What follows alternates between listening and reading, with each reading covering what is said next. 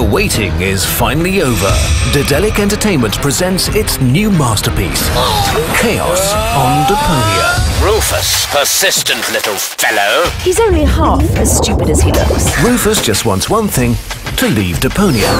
But the gorgeous Goal carries the key to a safe passage inside her, and a minor mischance split her personality into three pieces.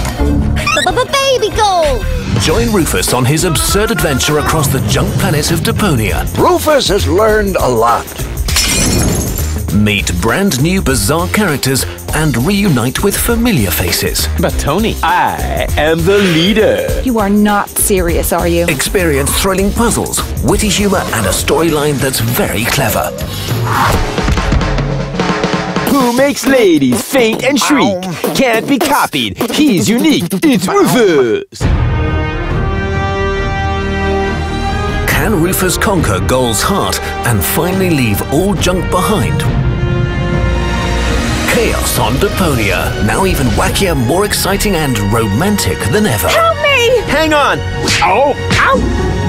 What good is the fastest vessel if we don't even know where our target is? That wasn't the whole story, was it? I think it's going to be a trilogy.